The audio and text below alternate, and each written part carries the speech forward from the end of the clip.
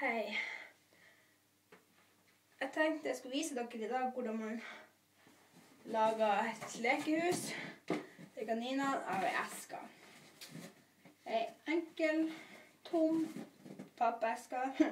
Prioreske. Så ja, det du trenger er som sagt ei eske og ei saks. Eller en kniv, da. Jeg hadde en kniv, men den har jeg klart å rote bort. Så eh, Ja. Det du kan gjøre, det er å Jeg bruker å snu eska av alle ting i verden. Sånn. Så kan du skjære hull. For eksempel her.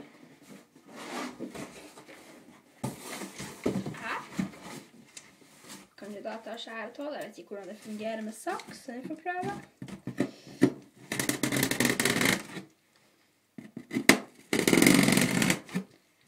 Mine kaniner er ikke så store, så den trenger ikke så forferdelig stor åpning. Og da gikk det greit å bruke saks. Sånn. Hiv det inn i vasken. Der har du ett tall, men det er litt kjedelig med bare ett tall, så da kan du snu eska igjen. Og så kan du ha Skal vi se Her er det den siden. Kan du ha et et til hull.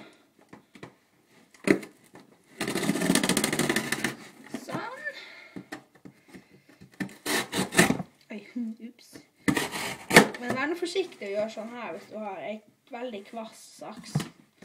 Det skjærer seg. Men det gjorde ikke jeg. Sånn. Da kan du Ja, du kan skjære flere hull i den, men jeg velger å ha ha, bare to. Og så kan du skjære bort her klappene. Du kan bare legge dem igjen. Sånn. Den. Sånn.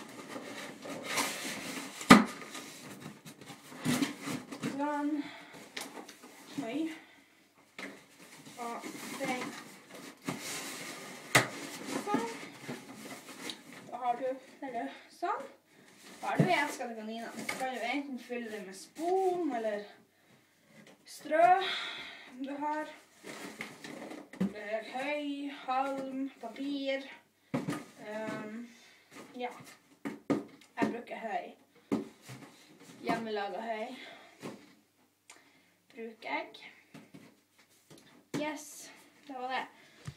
Jim, Jim.